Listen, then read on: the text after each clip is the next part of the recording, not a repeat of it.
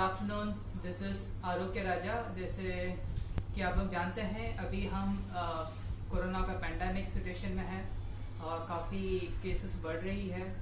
तो आप लोग काफ़ी वीडियोस भी देखे रहेंगे, कैसा इसका प्रिकॉशंस वगैरह लेना है।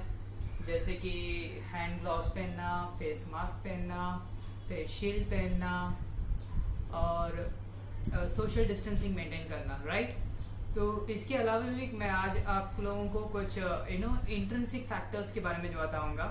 ये सब था एक्सट्रेंसिक फैक्टर्स जो हैंड ग्लोव्स वगैरह पहनना जैसे कि बाहर से हम कैसा प्रिकॉशंस ले सकते हैं राइट अपने शरीर का इम्यूनिटी बढ़ाने के लिए इंट्रेंसिक फैक्टर्स उसमें क्या क्या चीज़ चीज़, चीज़ों में परिवर्तन करना है उसके बारे में मैं आपको थोड़ा सा आज डेमो बताऊँगा।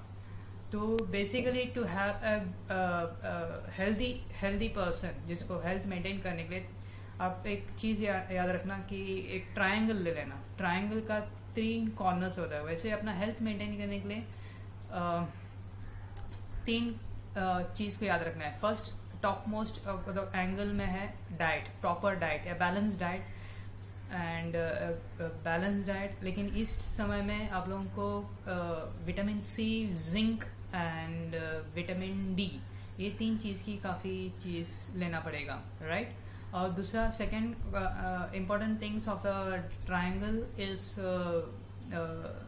the proper rest and relaxation ये तो अभी तो काफ़ी लोगों को रेस्ट एंड रिलैक्सेशन काफ़ी मिल जाता है but otherwise pre corona phase it was you know लोगों का uh, जो शेड्यूल था it was you know very busy schedule from particularly to all the Mumbai cause it is not less than 14 to you know 14 15 hours लोग भी काम करते थे। तो it was just too much for them तो that was the stress level काफ़ी कम करना है।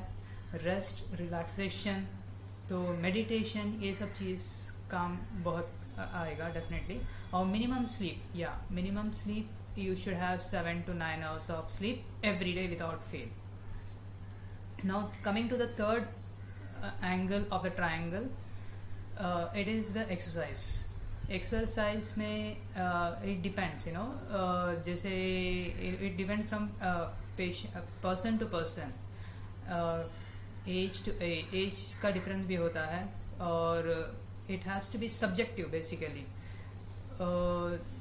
physical exercise on an average I would I would say that कि आप आपका जो जनरल एक्सरसाइज करते हैं, जैसा हेड टू टोस्ट जो लाइंग डाउन पोजीशन में सो सो के कर सकते हैं, जिसको हार्ट का प्रॉब्लम्स है। आई डोंट से कि आप ज़्यादा सुबह जाके जाके जॉगिंग करना चाहिए। जो कम एज है टीन एजर से they can do spot jogging अभी बाहर जाके नहीं कर सकते हैं। घर के अंदर ही रनिंग कर सकते हैं, थोड़ा स्ट्रेचअप्स कर सकते हैं वार्म अप्स कर सकते हैं।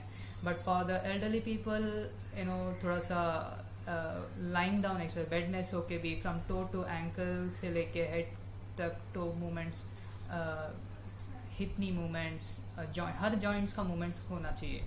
And this you can do it you know morning half an hour शाम को आधा घंटा ये चीज़ आप कर सकते हैं। Right right? लेकिन the most important exercise the most important in in this era corona में क्या है? That is the breathing exercise जी हाँ दोस्तों इस फेस में कोरोना में you should have a good breathing exercise इसके बारे में मैं uh, अगला वीडियो में बताऊँगा राइट तो टोटली मैं थ्री सीरीज़ बता रहा हूँ थ्री सीरीज़ का वीडियो दे रहा हूँ। फ़र्स्ट सीरीज़ ये है, अभी सेकेंड सीरीज़ में ब्रीदिंग एक्सरसाइज का पैटर्न बताऊँगा। कैसा वो mechanism and anatomy and physiology of breathing exercise and third में वो प्रैक्टिकल्स बता करके बता दूँगा